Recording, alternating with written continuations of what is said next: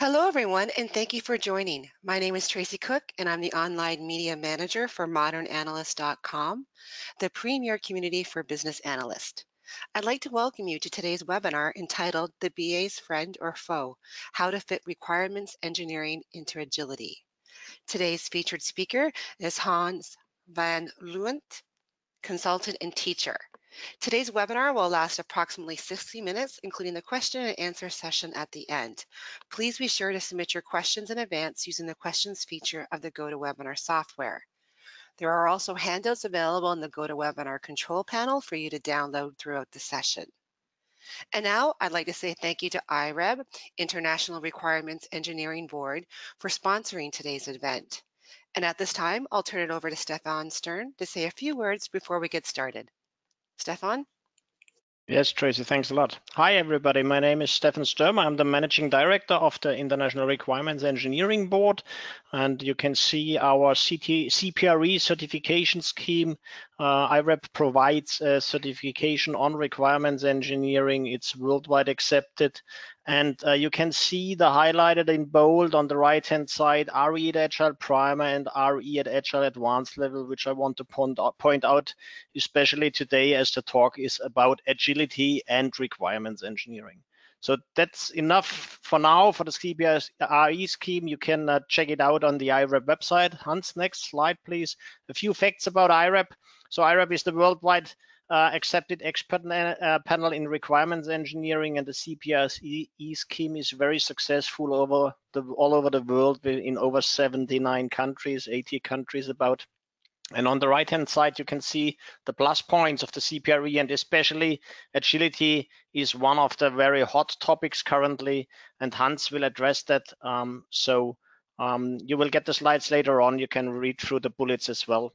Um, and I will hand over to Hans now. Hans, please introduce yourself and um, start your presentation. Thanks.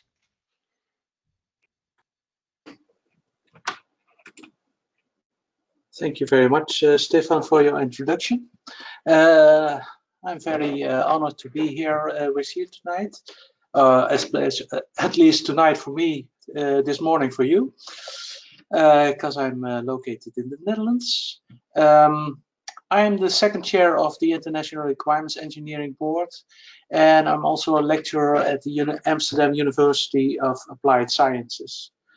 Uh, I used to be president of Testnet, who is the Dutch uh, testing community, and nowadays I have my own training bureau that's called Taraxacum in the Netherlands. Uh, we'll go on to talk about the combination or, uh, or the intertwinement for, uh, from requirements into agility. And let me first start to discuss something about requirements. What is about requirements?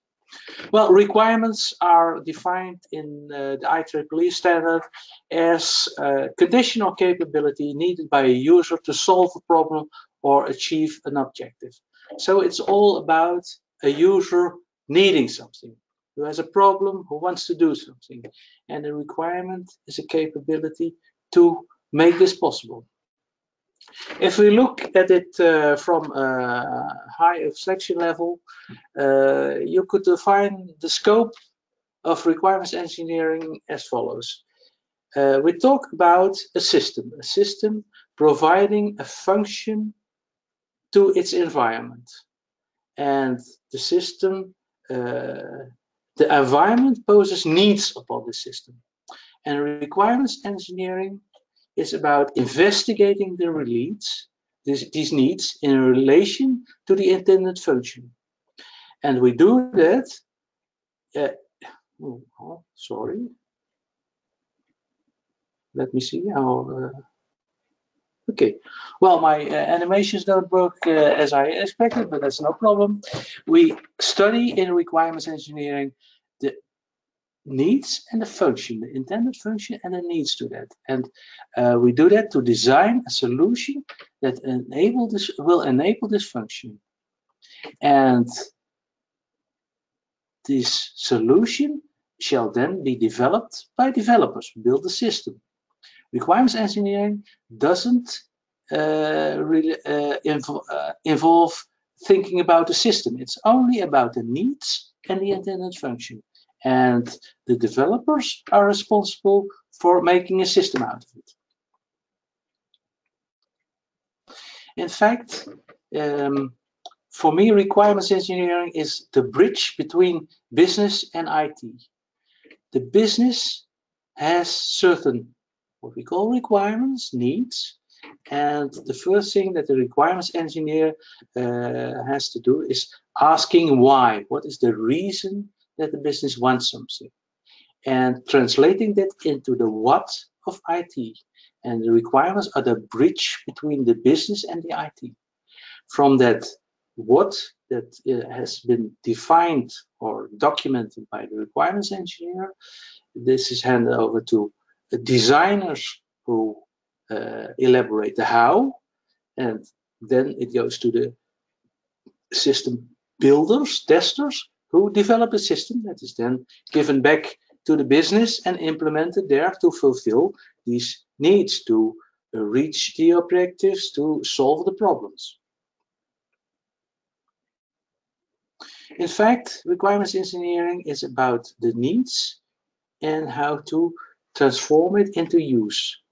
And in the traditional system development approach, it went in this way. First, the needs were analyzed, and this is where we uh, talk about requirements engineering or information anal analysis or, how, or business analysis, whatever you want to call it. The output from the analysis phase is uh, input for the design phase, and from the design phase, we build systems, we test them, we implement them. And then after implementation, the business can use it.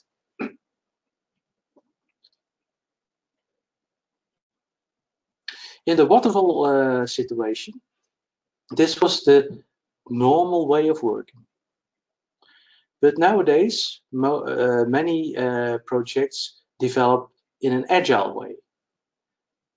And then it the, the, the way of working is, is different.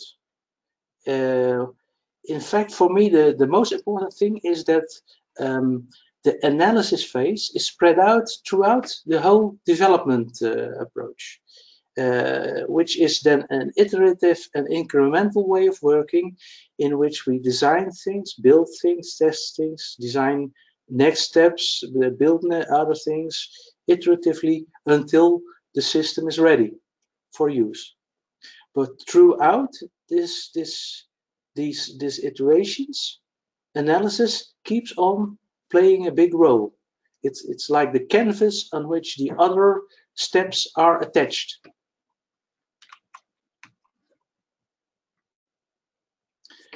And um, if you look at, at, at needs, you can see different perspectives on the requirements. Um, we see business requirements, what the business really needs, the user requirements, how the user want to work with it, and then this is uh, translated to software requirements, the functionality, the quality, the constraints of the system.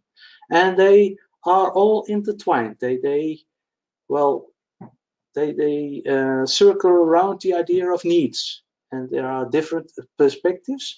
And in a traditional development, in a waterfall situation, it, it goes step by step. In the analysis phase, well, this doesn't work either. Oh, yes. In the analysis phase, we concentrate on business requirements. In the design phase, we concentrate on user requirements and do a little bit on uh, software requirements. In the build phase, well, the, there's another addition of software requirements uh, joining that. And uh, well, in the build phase, many additional software requirements are added to the original uh, software requirements that are elaborated in the design phase. And at the end, in the test phase, okay, in the test phase, all these needs, all these requirements are combined and tested. And after a successful test, we can implement it. In the agile uh, way of working, this is replaced by this um, iterative proce uh, procedure of design, build, test, design, build, test on the canvas of analysis. And we see in the agile environment that uh, the, the distinction between business requirements and user requirements and software requirements is not that that strong uh, anymore.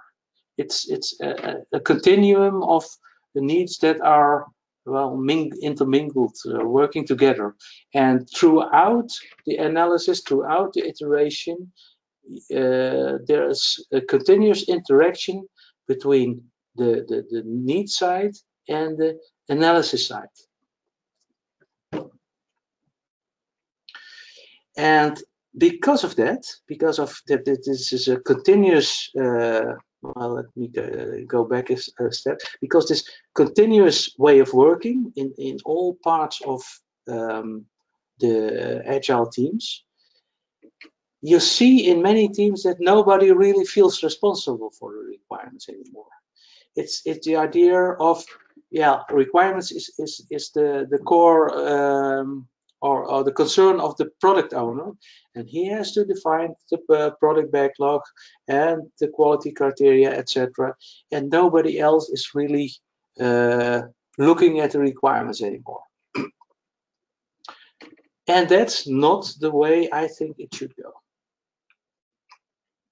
And that's where I want to talk with you about some common misunderstandings that I often see in many uh, agile projects that I encounter. And the most, uh, the four uh, most troubling uh, misunderstandings about requirements in Agile today are these ones. Upfront is evil, user stories are enough, only work in software counts, and documentation is waste. And I want to focus on these four in the next slides. Let's start with upfront is evil of course, the agile um, movement um, originated from the, the frustration that uh, large projects always tried to do everything on requirements engineering in, in the first two weeks of a project. And then uh, it, they were frozen and the rest of the two years from the project we should work with something that was uh, defined one and a half year uh, ago. And that didn't work. And that's why we think upfront is evil. But in fact, upfront is not evil. Every project has to start with something and, and, and, and setting the right direction, going into the right uh, point on the horizon. What is easy, evil is to try to do too much upfront uh, analysis with too much de detail in the in the in the beginning and then freezing it and say this this is the truth for the next uh, two years. That won't work. But still you have to do something about creating an uh, initial product backlog maybe on a on a high level. But still uh, if you don't do a proper upfront uh, definition of the direction of your project, you will walk around in circles and don't won't get anywhere. So there and there are many useful techniques to uh, get to this upfront uh, initial product backlog. For instance, try the product vision board from uh, Roman Pichler, who says you need to start with a vision. You have to uh, have an idea on, of your target group. You have to define their needs in, in a broad way. You have to uh, de develop an initial uh, idea of the product that you're going to make, and you have to define the goals that you want to uh, achieve with it. Or another useful one, in my opinion, is uh, oops, too quick. Impact mapping. Impact mapping from uh, Gojko Adzic um, starts from the goal that the system should have and the actors that are needed to reach that goal.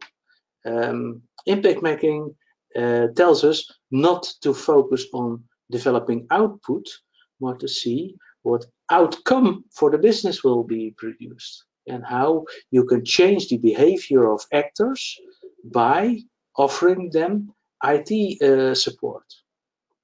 Uh, well, it's uh, our time is too limited to uh, discuss this in detail, but I could really advise you to look into these two uh, techniques to start in an uh, in an uh, agile project in setting the direction for it.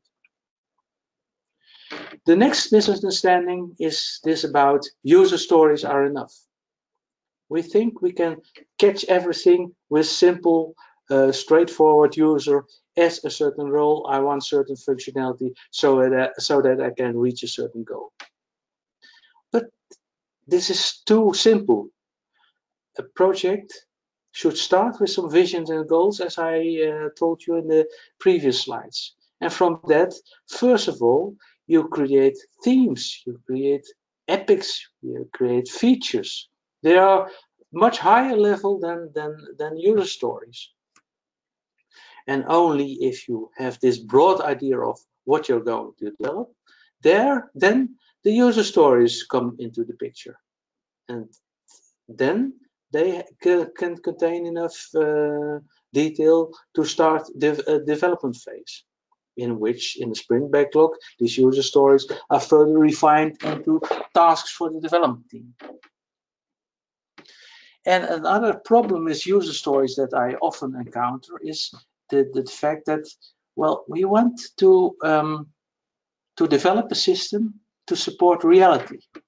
But when you start to define them and redefine them in, in the user stories, then you start cutting uh, them into pieces and you first cut the whole wood into uh, trunks and we call them features and epics and from that we refine them and refine them and refine them until you have the sprint ready user stories but then the complete the, the, the division on reality is gone you have what we call the the story mulch uh, a, a, large bunch of uh, sprint ready user stories but you can't see the, the whole composition anymore.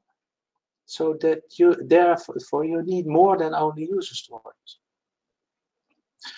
Another, for me, really serious uh, misunderstanding about uh, requirements in agility is the idea that only working software counts. But that's not true. Working software is output, but what the business really needs is outcome change in behavior, change in success. And for me, the, the, the projects are there to produce a change, not to produce software. Software is just a means to uh, realize a change. And for me, the, the most important result of any project is an increase in knowledge, an, an increase in capabilities of an organization. And that's much more than only software. And you could, for instance, look at uh, the approaches like design thinking to uh, see that there's more than, than only uh, working software. To, for instance, the design thinking approach starts with a discover and define phase in which you only create a problem definition and a design brief and possible solutions in the development phase. And only in the last phase, you focus on real working software. And all the other phases of such an approach are concentrating on knowledge, on new knowledge, on, on innovation. Software is only an important, but still a, a, minor part of a whole project. The last thing that I want to discuss with you is uh, the idea of documentation as ways. In, in the first years of agility, we all thought, oh, well, uh, we don't need any documentation anymore. So, uh, well, we get rid of it and that saves us a lot of trouble. Well, later on, we found out that it's not that easy. Documentation is for me a, a means to bridge time and space.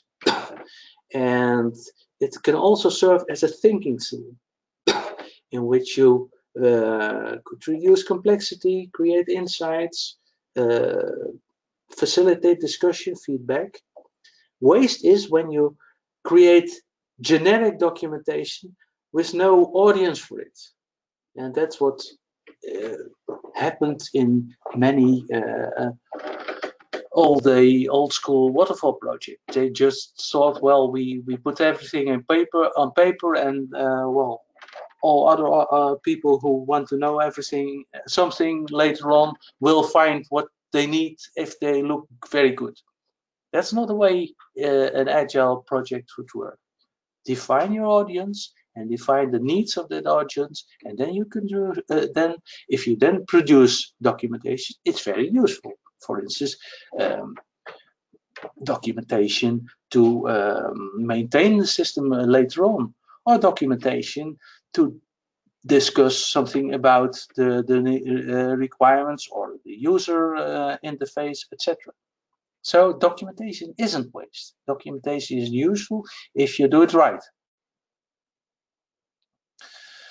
So um, if we are uh, on that point, we solve these uh, common misunderstandings. Now we can look at the points of engagement. Where does requirements engineering is, is used in agile uh, iterations? Now, so let's let's have a look. Here we have the iteration uh, that is common in uh, in an agile project. You start with a product backlog and we saw already that there there's something uh, that you have to do to create an initial backlog and in every iteration we pull certain items from this backlog that are input for the for the development team for, for the agile team anyway that develops product increments. And when these product increments at the end in the product demo are ready they are reviewed by certain stakeholders who give feedback and they accept the increment or say that something has to be changed or added or whatever and that's fed into the backlog again added to the backlog again and here in this cycle requirements engineering has uh, quite a number of engagements points the first one is the initial definition as I told you already a backlog doesn't exist from the beginning. You have to create it. And of course, it's the responsibility of the product owner. But usually the product owner is not a business analyst, is not a requirements engineer. He can't do it on his own. He needs assistance, assistance in creating this backlog. Of course, a product owner well has a, has a quite a good idea about the um, the themes, the features that must be in the system, but consequently refining them into sprint ready user stories, that's a profession that you'll have to do, and that's requirements engineering as far as I'm concerned. The next step is the selection, the selection of um, backlog items to uh, put them in, into the next iteration to be developed. You have to understand what is the backlog You have to select it carefully. You have to check it for the finish of ready. You have to check whether or not the quality criteria are added to it, etc. That's also for a large uh, portion requirements engineering work. At least uh, a requirements engineer, a business an analyst should be part of the planning uh, session to select these items. Of course, uh, the testers and the developers and the uh, product owner are also involved in it. But well, without requirements, uh, thorough understanding of requirements engineering, it's not so easy to do the right selection of backlog items. Well, um, if the backlog item is uh, added to the iteration, the development team starts developing. And that is it, during this development maybe the role of of uh, requirements engineering is limited. Of course uh, some um, refinement has to be done in which uh, requirements engineering can do some um, give some advice, and of course some problems are encountered in which uh, things must be changed. But usually the team can do the work by himself. But then at the end, the product increment is ready and it has to be validated. It has to be validated against the backlog item. And the decision of how to validate it is once again, it's something that uh, requirements uh, engineering is involved in. And then the stakeholders give feedback and you have an up update of the backlog. Once again, that is a point of engagement for a requirements engineer. Let's, um, okay, sorry. Let's uh, look uh, to these points step by step. In the, in the initial uh, defini uh, definition is putting backlog items on the backlog. And they are, um, in the first step, they are high level uh, user stories. Like they are features epics, not too detailed, high level, um, an overview of the things that system should accomplish and you get it from the business by elicitation. Elicitation is a, is a skill that a requirements engineer, a business analyst, has uh, learned.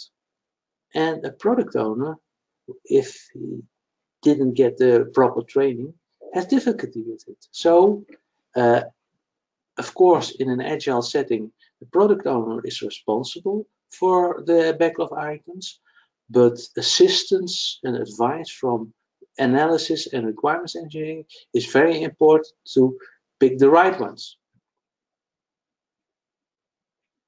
So what what uh, additional role an analyst could do there is, uh, for instance, checking the the whole uh, backlog for completeness and maintain consistency, traceability, uh, making sure that this product backlog is a, an integral um, set of the ideas that that are the foundation for the whole new system.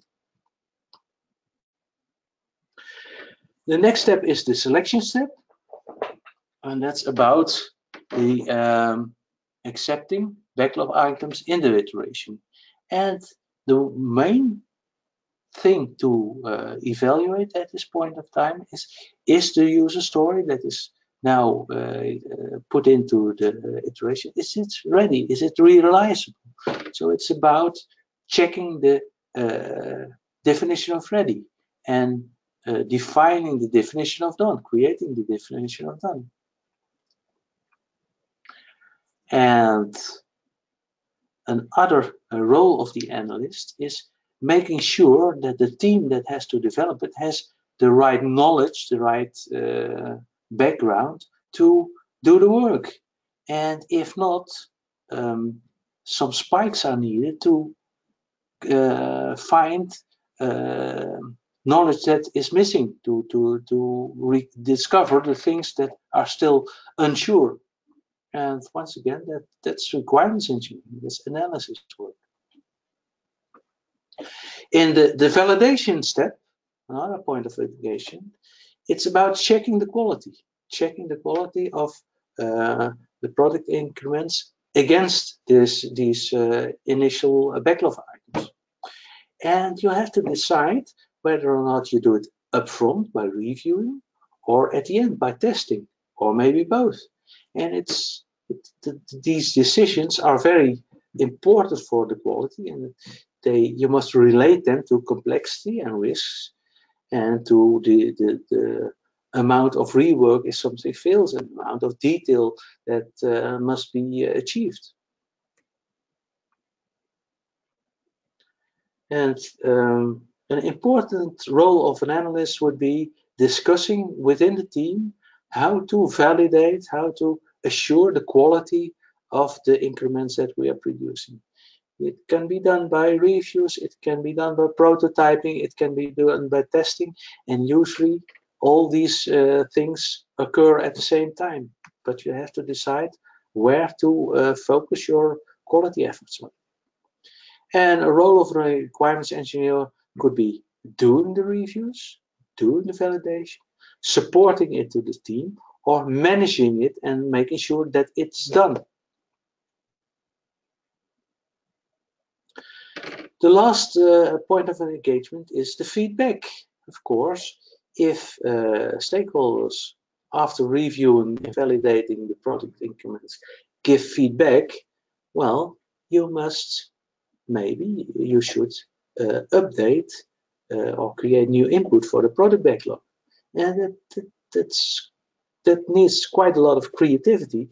And uh, you must have an idea of the impact on the project of doing so. It uh, relates to size and complexity of the changes. And sometimes it can be done within the team, but sometimes uh, the size or the complexity of the changes is that high that you need to involve the product owner or even the client.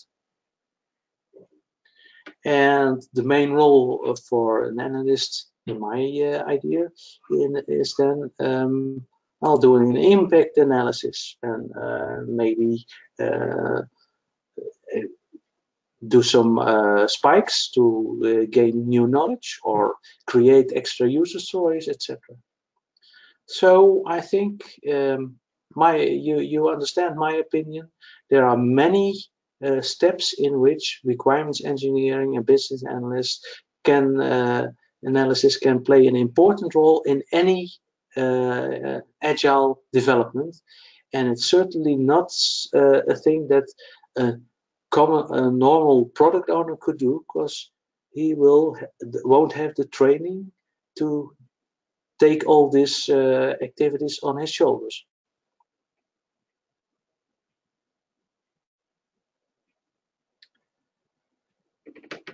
Well, from that, uh, let's um, draw the conclusion that, in my opinion, it's not requirements engineering or agile, but requirements engineering at Agile.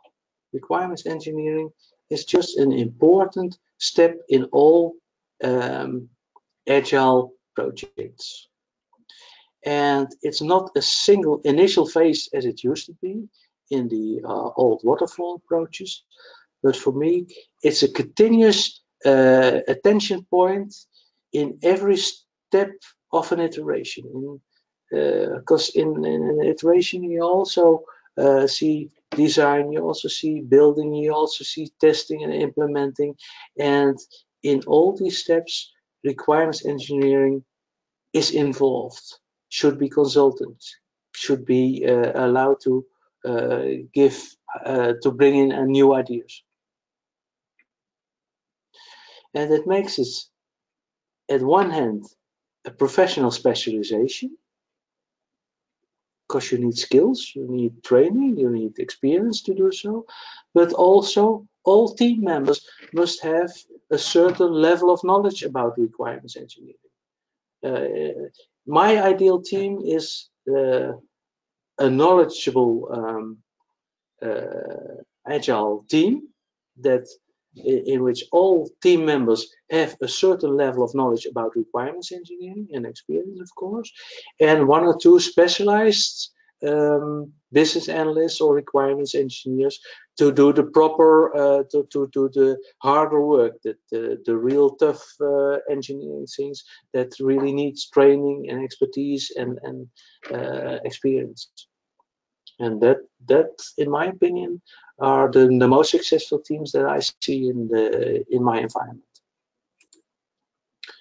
So for me, it's a teamwork, a team consisting of members who know what requirements engineering is, and one or two specialists that can take the harder uh, parts of it. So for me, I would say requirements engineering is, is too important to leave it to the product owner. The product owner cannot do this by himself. It's, it needs more attention than just one uh, guy who is responsible for everything. So that uh, brings me to the end of uh, my talk. Not completely, because I want to show you what we call the uh, RE manifesto. Of course, we all know the Agile manifesto, but requirements engineering has produced another manifesto, and that's uh, the following one. We value genuine empathy and, not or, but and, techniques, models, and templates. We value creative solution designs and comprehensive elicitation. We value in-time elaboration and upfront specification. We value shared understanding and proper documentation.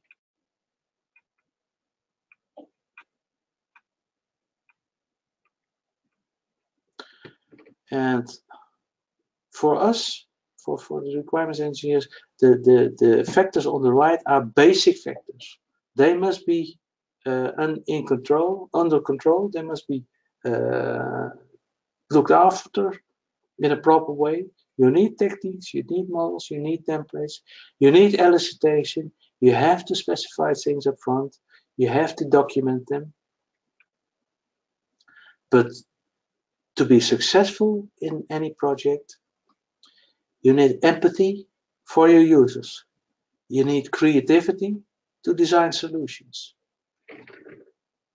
You need to elaborate your user stories in time, not too early, because then you're blocking your project, not too late, because then you're creating, uh, um, well, you're creating uh, defects in, in your system. And the most important thing is shared understanding. The team and the users and the client all must understand what is the common goal that we're working for. So, um, well, that brings me to the end of uh, my uh, talk. And um, I would like uh, to give uh, back to Stefan Sturm, who will conclude something about the um, uh, IREB as an organization. Hans, thanks for, for the talk. And uh, before I um, talk about uh, a few things as well, um, I want to point out that we will have a Q&A right afterwards. So please stay here for the Q&A. You see, uh, yes, Hans, please advance to the next slide.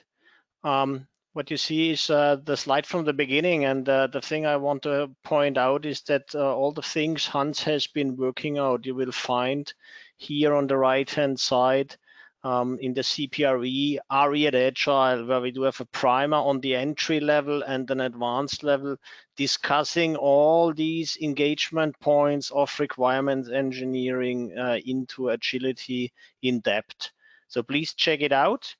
And um, the next thing I want to just to give you a glance what IREB is doing, Hans, the next slide, please, is something we called digital design. Um, because we realize that uh, these RE techniques are very much on a, on a technical base and uh, for, for let's say, um, systems in areas where we know what we do, where we can ask someone. But in the term of Industry 4.0, digital transformation, Internet of Things, we are there are many areas where we do not know uh, how the solution will look like. It will be developed and and uh, elaborated and discovered during um, a project or an activity, and therefore we need much more design. Um, uh, comp competencies in there. So that's something IREB is working on. Is there's a website digitaldesign.org, and you might register for the newsletter. It's not built yet, but it will be finished uh, before the end of the year. And if you register the newsletter, you will be informed. So that's from my side. Now let's start into the Q&A, please. Thank you, Stefan, and thank you, Hans, for your presentation today. We do have some question, questions, so just a reminder, if you do have questions, please locate the question box and you can type your questions in. Hans, our first question, is it common to use use cases in Agile teams instead of user stories? Oh, uh, I, I, would say yes. I think uh, use cases, uh, no, no, yes and no. Um, I, am very fond of use cases, but as, as a predecessor of user stories, you could uh, use use cases to define in an initial stage the, the, the broad outline of the functionality of a system and then you can refine it into epics and and and further on into sprint ready user stories. So it's not one or another but i think in a in a good agile project you use them both you start with use cases to uh, get the broad view on how a part of the system should should work uh, especially about the functionality that is relevant for a user. And then you can uh, see the scenarios and see uh, use case slices and then refine them into user stories to uh, th that that will be uh, input for the iterations. Thank you, Hans. Our next question uh, and comment. This is great input. Can we hear of any special points of engagement where scaled agile is in use, especially where multiple agile teams have interdependencies of requirements or resources, etc. Yeah, well, I think that's that's that's a tough question. I I am still um, I, am I'm, I'm myself. I'm I'm also uh, struggling with scaling. I know uh, scaled agile framework is uh, well, it's often used, and for me, it's it's some. It combines the good ideas of the waterfall with uh, the the good ideas of um, agility. But the, the, main thing in a scaled agile framework is uh, ha having this release trains arriving at a certain point uh, where you could interchange the, the things that you commonly common use uh, together.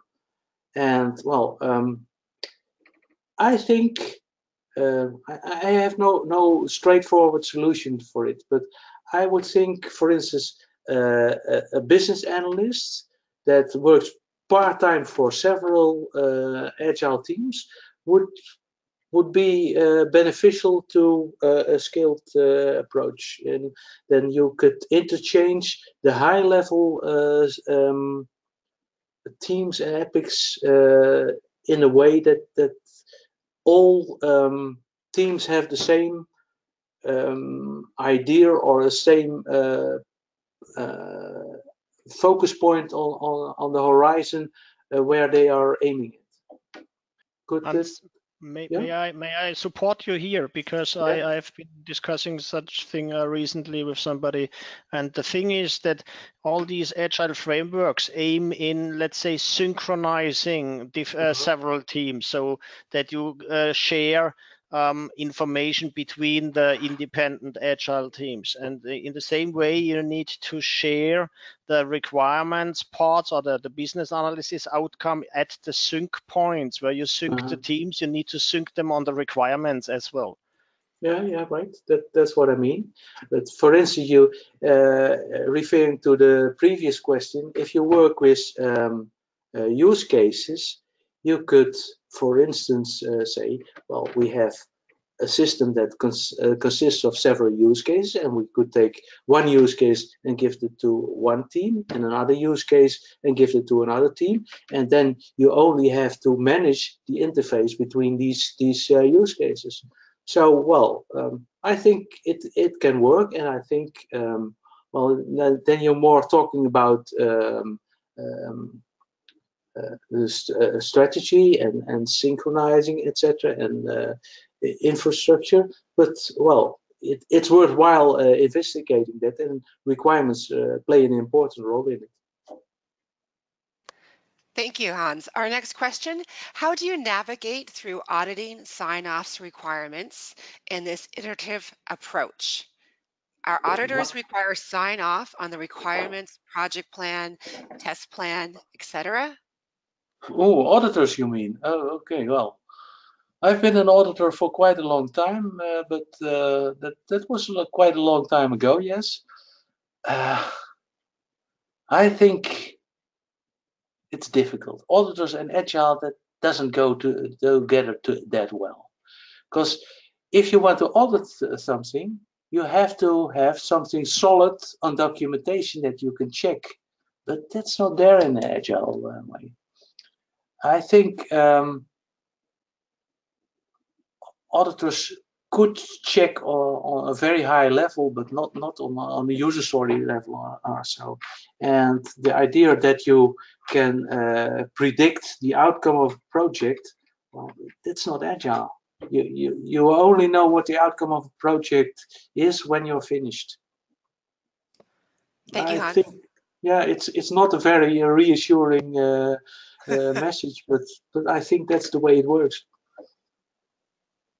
Our next question, are there any good methodologies on how to check completeness and track traceability of requirements in huge projects? You know, that's uh, also one uh, one headache. huge projects in Agile is also a headache. Uh, well, um, I think the only uh, real way uh, of working is um, uh, reviewing, bringing people together and discussing it. You can work with, with traceability metrics, and if you do a, a proper refinement, uh, then, then you can refine things in a hierarchical way and you can trace how things fit together. And if you split the project in, in parts that are relatively in, independent, it can work, but it's hard work. It's not easy, it's hard work, and you I, I think um, you should make somebody responsible for it, uh, otherwise it won't work. Thank you, Hans. Our next question, what type of documentation and how detailed would you suggest to document besides user stories for maintaining a complex business application for the next 20 years? Oh, well, for the next 20 years, that's a nice one. Um, well, I'm particularly fond of uh, uh, behavior-driven development approach, and that means that that the the most um, uh, sustainable uh, requirements are documented as as uh, acceptance test cases in a given when then format or so.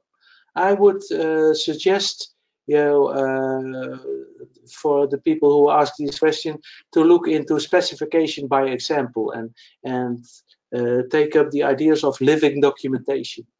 Um, that that's really the most sustainable way in which to document a system over uh, some decades. Uh, if you try to freeze it into uh, some kind of database or so, it won't work. Thank you. Now, our next question, do you have any specific advice for RE on data analytics projects? Mm. No, sorry, I'm not a specialist in data analytics. Uh, I, am I'm, I'm not very experienced with it, so I I but I don't think it's it's really different. Um, requirements engineering always starts with the the the uh, combination of needs and, and and function. So uh, the most important thing is that you leave the system out. Don't look at the system, look at the needs and look at, uh, at, the, at the functionality. And how to solve it with a system is something that the developers uh, should do. So in that way, I think data analytics projects are uh, IT projects just as any other one. I, I think some uh, data analysts will not uh, uh, agree with me, but I'm sorry, that's that's my idea. Um, perhaps I can add as well here. Um, you might want to check out the RE at Agile handbook, the study guide. It's available for download on the IREB website in the in the download section. And the handbook there is uh, a comprehensive uh, advice on how to apply requirements engineering in agile. So this will you give give you detailed information. So it's not not only dedicated for the, the uh, preparing for the exam for the IREB stuff but it's, it's just giving hands-on information on how to do requirements engineering in agile. And there you will find many um, answers to that. So in the download section on ireb.org yeah, well, uh, I might add to that that uh, if if somebody is uh, interested in how how uh, to do requirements engineering in special uh, situations, I could also advise to take a look at the um, handbook of the advanced uh, level elicitation, because there we talk about certain patterns in, in which you can apply uh, elicitation uh, techniques in different environments. And it might come in hand also uh, if you're struggling with these questions. Thank you. Our next question. What is your opinion about event storming as a technique of requirements elicitation and knowledge sharing? Whew. Um, to be honest, I have no experience with this technique, so uh, I couldn't say uh, a real um, underpinned opinion about it. But as I interpret it, I think it's useful. That's the only thing that I could say about it. Thank you, Sorry. Hans. I know we're throwing a lot of questions at you right now. Let's move on to the next one. Uh, oh, and a comment that was a wonderful point in the beginning of the presentation about targeting the right audience when creating documentation. Mm -hmm. Oh this yeah, that's I, two-parter. This sometimes seems to be the problem in my company. Can you recommend further reading on this? Uh, well, I, I, once again would refer to our uh, handbook of elicitation advanced level, where we treat this uh, uh in quite a lot of detail. But um, well, common uh, knowledge is also uh, important. Just it, try to imagine that you're uh, the audience. Now, what do you want to read? That, that's the important question. And try to um, think of the, the use that people will will have with your your documentation. Why do they need it? Where will they use it for? If you can answer this question you can write a, a proper documentation. Thank you. Our next question what are the most common conflicts between the PO and the requirements engineer in an agile team when they have different levels of RE competencies? Um, in my most... opinion, the, the, the, most common conflicts, well, I, I, try to avoid conflicts, of course, but um, I rather often see POs who um, overlook complexity, who think that things are simple, who, um, uh, for instance, uh, don't think of uh, additional quality requirements, who are not very interested in uh, uh, acceptance criteria and, and, so on, who only focus on the, the, the main functionality and say, oh, it's easy, this is the main functionality, just make it. And while a business analyst then comes with the exceptions, comes with the nitty gritty details, etc. And then, um, well, the, the, the, product owner will see, oh, delay and delay and still uh, no functionality delivered. Uh, while the business analyst will say, uh, say, yeah, but you, if you want to deliver quality, you have to bring in that.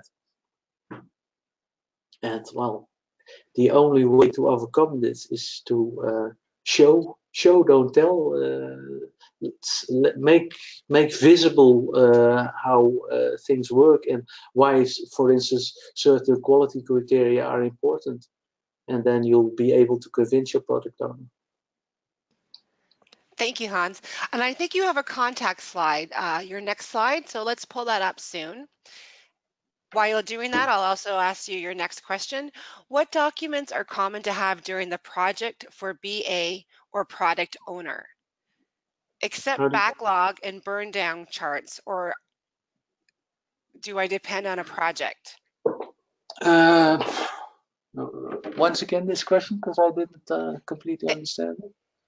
My apologies. What documents are common to have during the project for BA or the product owner? Mm -hmm. Uh, yeah, well, go ahead. You have, yeah, documents. Well, documents. You you have your a product backlog. You have your architecture. I think your maybe your technical architecture, your uh, logical architecture. Uh, of course, you have burn down charts, but well, that's more the product owner than the business analyst who is concerned with that. Um, Yeah. Well, I, I am very influenced by these ideas uh, like uh, impact mapping, etc., and, and a product vision, uh, etc.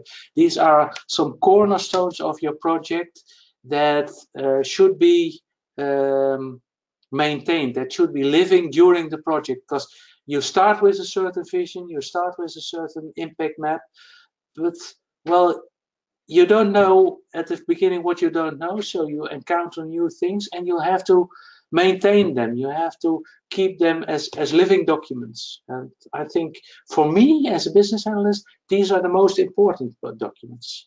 Uh, or a goal tree to, and and, uh, and, and what what we already discussed uh, a set of uh, use cases to uh, define the the main uh, functionality so I if I work in an agile project uh, I have quite a lot of documentation with me but mostly it's it's my own documentation that I need to oversee the complexity of the project. Thank you. Our next question. How do you deal with changes, updates on Epic feature level during or after a project to keep documents up to date and also for maintenance phase? Yeah, well, um, the agile theory says that you you don't update your user stories, uh, at least not when they're finished. Um, I I might not completely agree with it, but as I told you before, for me the living documentation in the in the form of uh, given when then uh, acceptance test cases is the most sustainable way to uh, to update your documents and to produce something that that can be used in the next uh, years of maintenance. Thank you. Our next question, which tool for requirement traceability would you suggest or approach if you if no tools come to your mind? Well, I, am not a tool guy, so I, I wouldn't know. But um, I think many of the, the common uh, tool suites that are used uh, in, in development projects, especially when you're tool driven like uh, CI CD projects, I think they, they have enough functionality to uh, trace uh, requirements and to, uh, to keep them alive. So I I think there are enough tools.